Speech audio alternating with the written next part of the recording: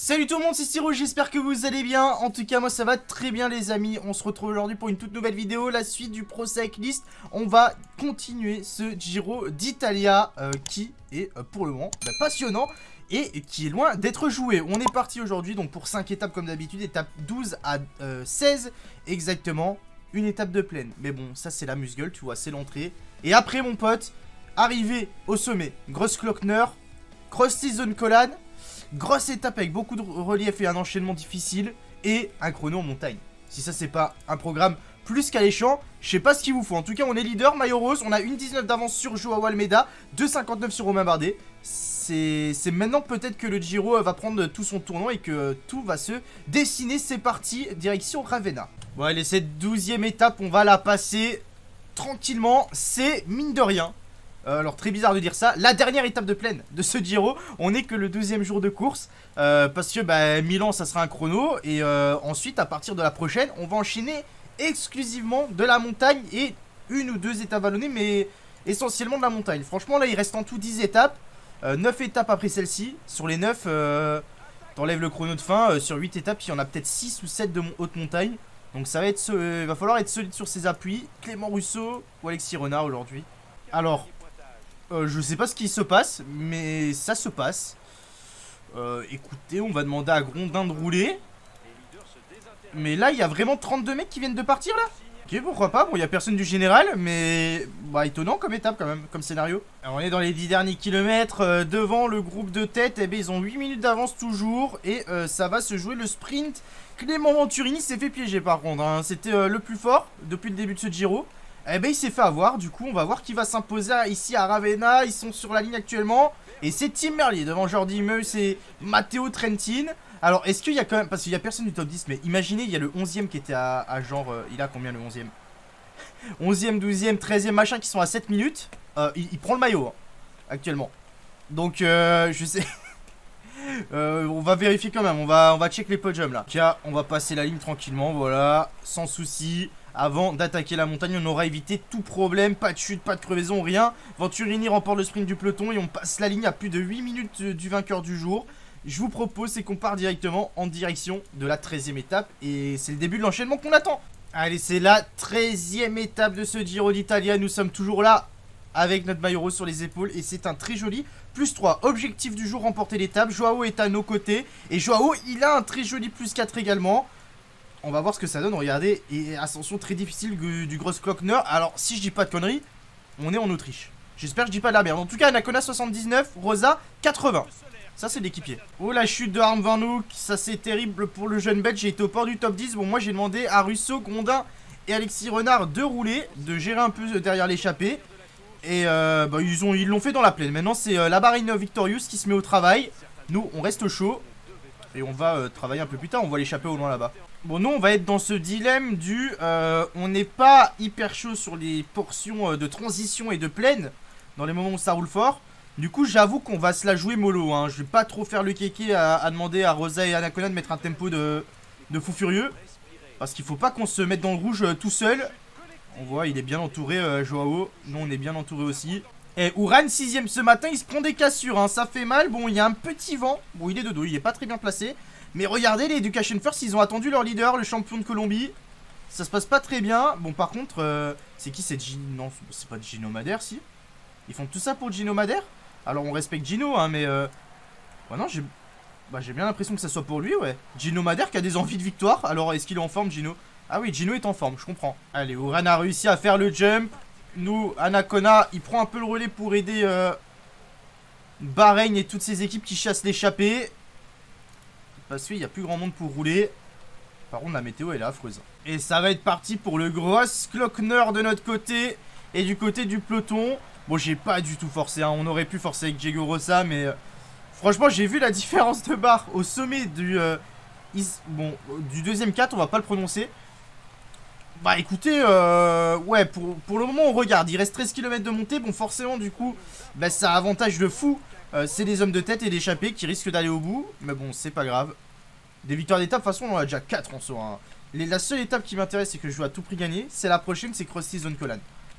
C'est là par contre je veux pas passer à côté. Allez c'est parti, première équipe à se découvrir, c'est l'équipe de Giulio Ciccone. Ah bah oui, plus 5 Giulio Ciccone, il est en forme aujourd'hui, l'italien.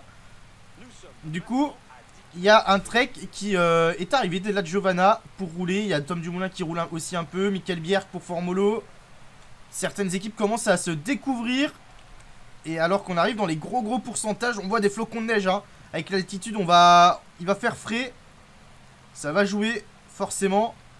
Et là maintenant on est parti pour 10 km très difficile Et ça y est la première attaque elle est là Et elle vient de Giulio Ciccone Est-ce que on roule euh, nous-mêmes en personne Bon pour le moment on va rouler comme ça avec euh, Diego Rossa qui nous protège Et on va demander à, Diego Rossa de prendre le relais là d'ailleurs Allez nouvelle offensive c'est de Giulio Ciccone qui retourne Rossa euh, met le tempo et il fait très très mal Diego Rossa là il étire un peu euh, cet avant du peloton, même si pour le moment ça bouge pas trop. Par contre, comment ça, j'ai du mal à suivre Diego?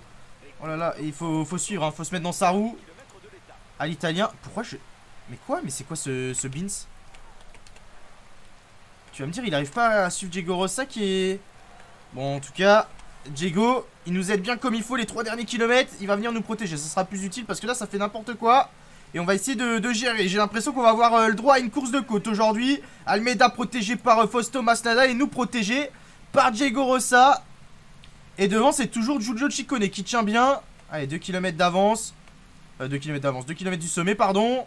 Tom Dumoulin, c'est terminé. Il y a Formolo sur la droite de la route. Almeida toujours bien emmené par Fausto Masnada qui s'écarte. Et d'ailleurs, Rosa, il va s'écarter au même moment. C'est terminé pour Diego.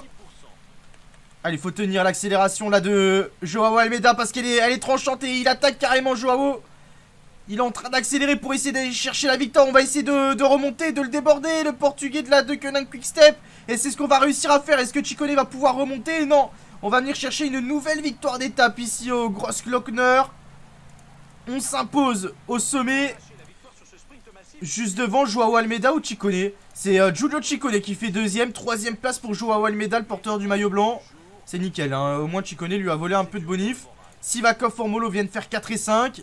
Et par contre derrière c'est Vingegaard qui a pris cher Ouais Jonas Vingegaard il a pris très très cher aujourd'hui Romain Bardet 7ème Rosa belle 8ème place bien joué Et une nouvelle victoire d'étape pour nous Et avec les bonifications on va reprendre 21 secondes d'avance euh, en plus sur euh, Joao Notre euh, plus grand concurrent et notre seul concurrent On part clairement sur un duel Joao est le plus fort Il a rien à dire maintenant, il va. C'est le seul entre guillemets qu'on va devoir surveiller. Les autres, ils sont un peu plus loin, donc on peut leur laisser un peu plus de marge. Pas de souci.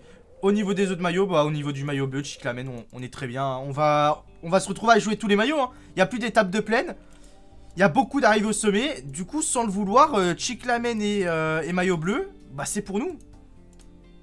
Maintenant, c'est l'étape qu'on attend tous. Je sais que vous l'attendez. Krusty Zone Colan celle qu'il ne faut pas louper. Allez, on est au départ de cette euh, étape euh, qui s'annonce déjà mythique et ça va être un plus 3 pour nous comme la veille. Objectif du DS, remporter l'étape. Il veut qu'on gagne tout. Joao, lui, il part avec quoi?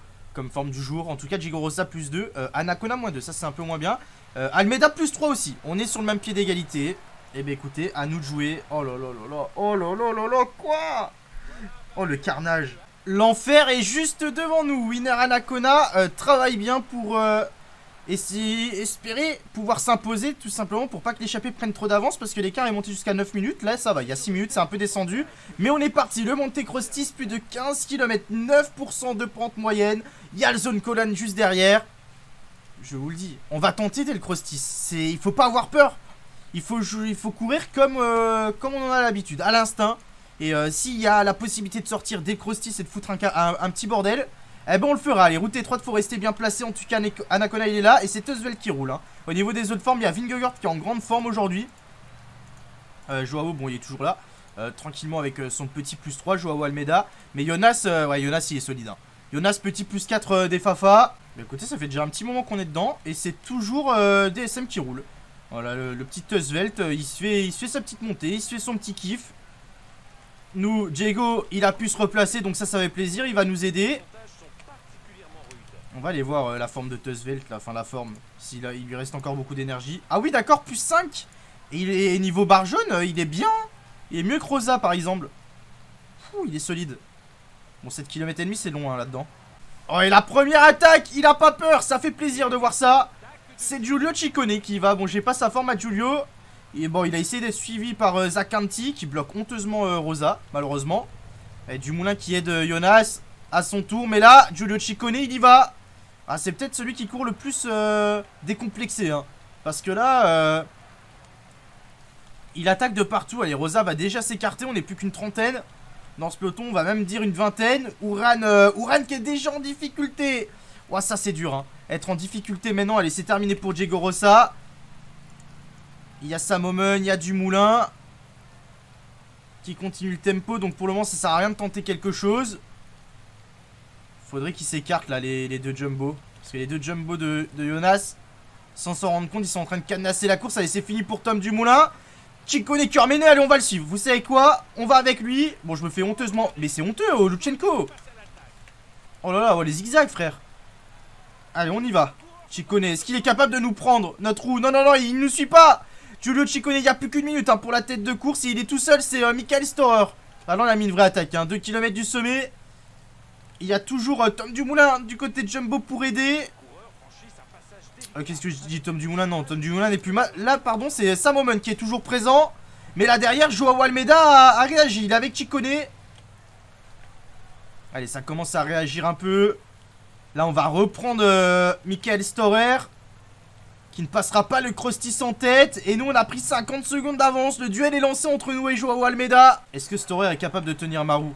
Parce que là, on va pas tenir à ce rythme-là jusqu'à jusqu'aux zones Colan. Hein.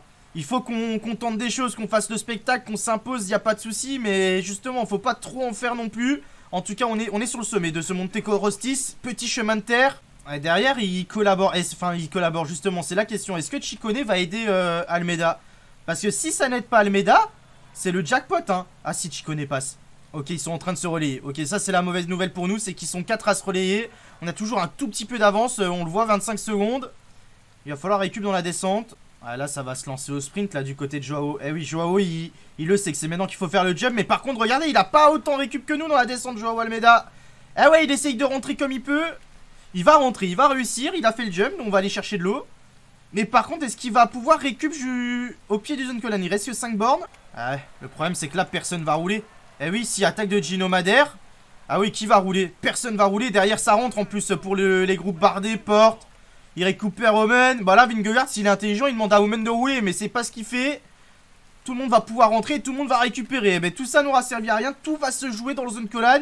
Et devant Gino Madère, il est en train de prendre un peu d'avance. Ah, regarde, on va se retrouver à, à 20 euh, au pied. Oh, qu'est-ce que c'est con, mais Vingegaard, mon pote, t'as un poids chiche dans le cerveau là. Qu'on se le dise. Ah, Ineos, par contre, ils reviennent, ils, continuent, ils roulent direct. Hein.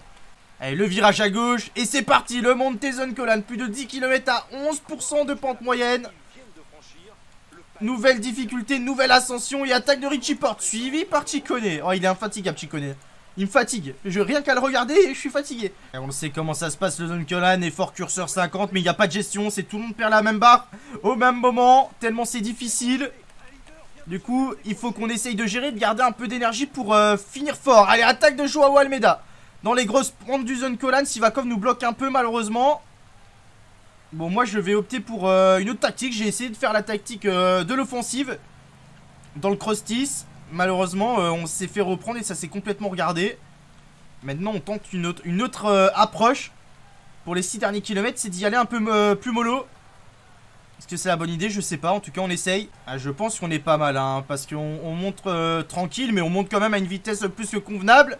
Mais on n'est pas si loin du groupe de de Joao Almeida. Mais par contre, devant, ça fait une très belle montée. C'est Giulio Ciccone et Gino Madère. hein. Ils sont solides les deux.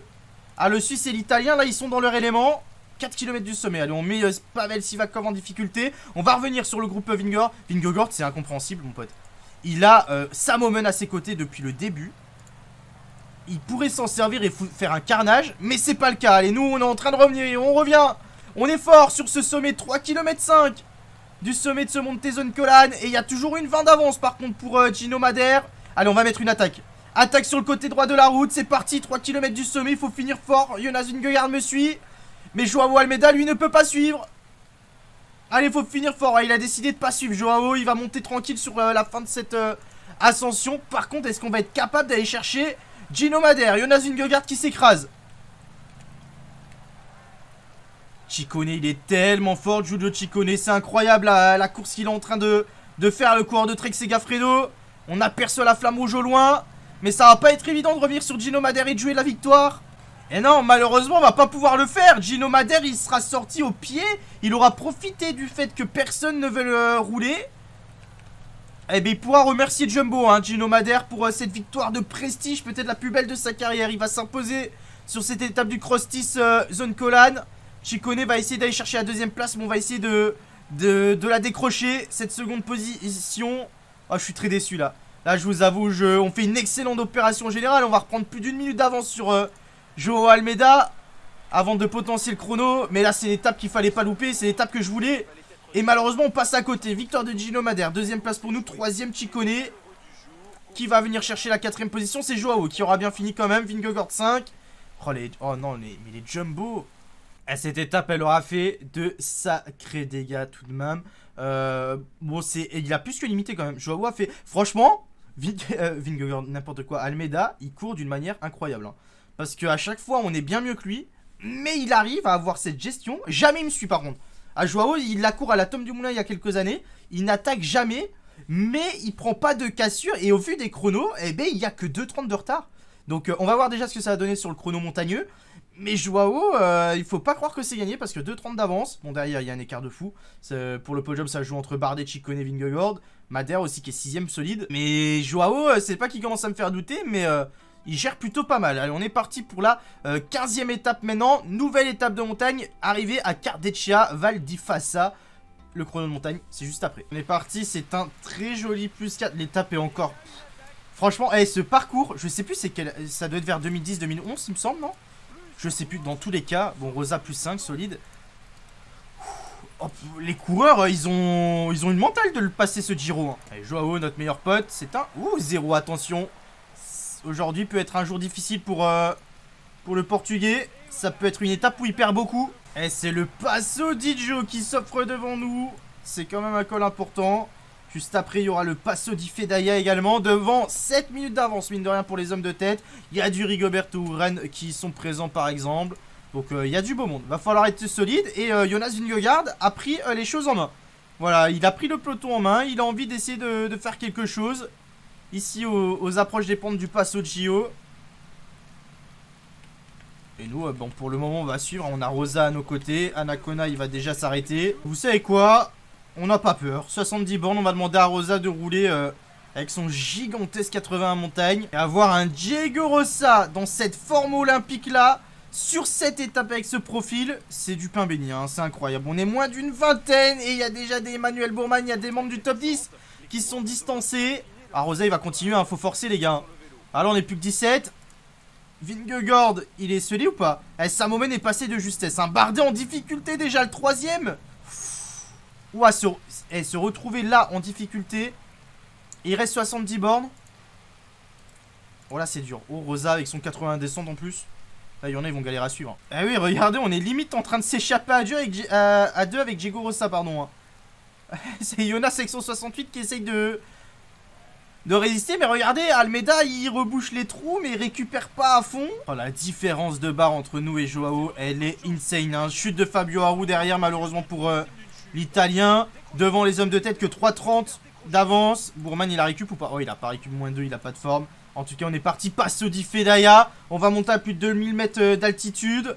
Et le sommet de ce Passo di Fedaya, il fait très très mal. Mais Rosa, il va continuer lui. Personne ne récupère. Masnada, il est Almeida. Mais Almeida, il sent que c'est une journée importante là. Oh, ça bouge. Attaque de Davide Formolo. Ok. Vingegaard qui suit. Joao qui suit. Non, c'est pas Joao, c'est Michael Storer qui suit. Eh ben écoutez, les premiers euh, mecs du top 10 qui, qui se bougent dans ce peloton. Nous, on a toujours euh, Diego Rossa à nos côtés. Mais ça fait plaisir, ça ouvre du spectacle, ça ouvre du mouvement. Ça dynamite un peu la course, sachant qu'on va arriver dans les gros gros pourcentages. On les reprend. Diego, lui, il va reprendre aussi. C'est son tempo. Et regardez, Romain Bardet Romain Bardet qui se retrouve distancé. Ah, il était troisième ce matin, Romain. Ah ça va pas rester troisième là Les nouvelles attaques c'est de Michael Storer 11ème Ah oui non là Romain Bardet il va prendre cher hein. Il va perdre beaucoup Romain Bardet Mais tout le monde va perdre beaucoup j'ai l'impression hein. Formolo il a combien? Il a plus 4 aujourd'hui David et Formolo David et Formolo il est en forme Ah oui Formolo est très très solide Mais là Romain Bardet j'ai très peur pour lui hein. Parce que en plus, il y a les chronos qui arrivent. Romain Bardet, il peut tout perdre là sur cet enchaînement. Allez, on est à 4 km du sommet. Diego Rossa va pas tarder à s'écarter. Regardez, on est plus que 9. Rossa est en train de faire un boulot monstrueux. Voilà, c'est terminé pour Diego. Et nous, ça va être le moment pour nous d'en mettre une à 3 km 500 du sommet. Allez, 30 km de l'arrivée. Formolo qui réagit aussi. Aujourd'hui, on tue ce Giro, je vous le dis, il y a des chronos, il faut faire la différence pour pas qu'on ait de fausses surprises. Joao est bien meilleur rouleur que nous. Si on peut tuer ce Giro et avoir 8 minutes d'avance, c'est pas notre problème. Hein. Nous, on n'est pas là pour offrir du suspense, on est là pour remporter le Giro. Allez, 2 km du sommet, il reste Kipernsteiner devant, mais c'est terminé. Allez, faut forcer là. Formolo, il est à deux doigts de rester avec nous. Et eh, si on garde Formolo, en vrai, est-ce que c'est pas un bon bail ça? Mais bon, Joao, comme à son habitude, il est avec Chicone et avec euh, Vingegaard. Mais il monte à son train. Et nous, on continue de forcer. Oh, là, on est en train d'offrir un, spectacle incroyable. Hein. Là, est-ce qu'on est, qu'on est en train de tuer le truc Peut-être? Mais en tout cas, on va basculer avec un peu plus d'une minute d'avance sur nos adversaires directs. Faudra juste voir s'ils se mettent à collaborer. Et que ça se retourne pas contre nous. Parce qu'il reste quand même 27 km. Hein. On n'en parle pas assez. C'est encore très très long. Oh, il y a même 2 minutes. Oh là là là là, c'est incroyable. Oh, le... Bah là, on peut... Peut-être que... Vous allez reprocher le manque de suspense, mais vous pourrez pas me reprocher le manque de panache. Là, là c'est pas comme l'an dernier avec le puncher où on, subissait. Là, la montagne, on l'a donc. Et là, c'est le moment où on va euh, perdre énormément. Mais regardez, bah non, derrière... Ah non, c'est le... On va pas récupérer de fou. Mais derrière, regardez, Joao, il est en train de se détruire pour essayer de limiter la casse. Ils ont repris une minute, certes. Mais cette minute qu'ils ont repris, là, ils vont la reprendre. Dans Cardeccia. Il reste 10 km encore, c'est hyper long. Et ils vont attaquer l'ascension finale quasiment en fringale, les cons. Ah, euh, moi qui venais de dire que Joao il courait parfaitement depuis le début de ce tour d'Italie. Ah bah là il vient de tout foutre en l'air Joao Almeida. En plus il emmène tout le monde dans sa roue, regardez. Vingegaard lui il la récup, Formolo aussi. Oh là là il va tout perdre. Allez on est parti pour cette ultime difficulté. Cardeccia 6 km 9.5 de pourcentage moyen. Et par contre on n'est pas si terrible, c'est par rapport à Davide Formolo par exemple qui est en train d'attaquer. Formolo qui, va essayer de reboucher le trou Et Joao Almeida qui se fait déposer Oh là là mais non mais il a fait le poisson pilote Mais ça c'est le problème de l'IA tu vois C'est que là ils, avaient l'avantage sur moi Sur cette plaine Mais Joao a fait n'importe quoi Il a pas Ils ont pas collaboré Joao est parti au sprint Et il a fait le poisson pilote Il a déposé au pied Formolo et, et Qui vont lui mettre un, un temps aujourd'hui Almeida qui est euh, à la dérive. Et nous, euh, Formolo Vingegaard c'est revenu quasiment dans le sillage. Formolo qui recolle même dans la roue. Incroyable. Hein. Trop trop fort David Formolo. Mais malheureusement, nous, on va le contrer directement. Faut pas que ça, ça recolle David. Nous, on veut s'imposer. Il faut le tuer ce Giro. Joao, oh, il est tellement loin. Mais là, là, il a pris un score là. On vient très certainement d'écraser ce Tour d'Italie. Et même avec autant de chrono qu'il veut, Joao. Là, ça paraît quand même énormément de retard. Hein. Ça paraît beaucoup euh, à reprendre. On va aller voir les podiums juste après. Mais là, là l'écart est en train de se faire. Et l'écart, il va être monstrueux sur la ligne. On peut savourer parce que la victoire, elle ne fait aucun, doute. Ça va être notre sixième depuis le grand départ de ce Tour d'Italie. Il restera 5 étapes pour valider cette victoire sur notre tout premier grand tour. Mais là, on vient de taper un grand coup. Ah oui, non, là, là mon pote, là, il n'y a pas photo. Il est où, Joao? Il à 4 minutes. Il est avec Diego Oh là là là là, oh, c'est dur. Oh non, là ça pique. Mais là c'est. Là je suis limite triste parce qu'il a juste fait de la D. Hein. Il collaborait avec les autres, euh, ça changeait tout. Hein. Il prenait un score. Mais il y a pas. Il y a que 2 minutes là? Il y a que 300 mètres d'écart. Mais c'est incroyable, c'est trop dur. En tout cas, on s'impose et regardez, c'était pas fini. Il y avait de la terre après. Ils auraient pu euh, pousser le truc, les orgas. En tout cas, on s'impose. Et derrière Formolo, ouais, ils étaient longs les 300 derniers mètres. Formolo qui va prendre 2 minutes 20 aujourd'hui. Michael Storer qui va venir chercher la troisième place. Très solide, l'Australien, à plus de 3 minutes. Et Joao Almeida, lui, va arriver avec Diego Rosa. Et il va perdre... Oh là mais quoi? Il arrive avec Pernsteiner, Rosa. Joao Almeida perd plus de 5 minutes. Allez, les podiums de cette étape qui... Limite, elle était encore plus dure que Krusty Zone Colan.